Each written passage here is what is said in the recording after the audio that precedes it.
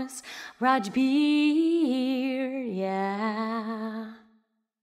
One happy birthday dot com.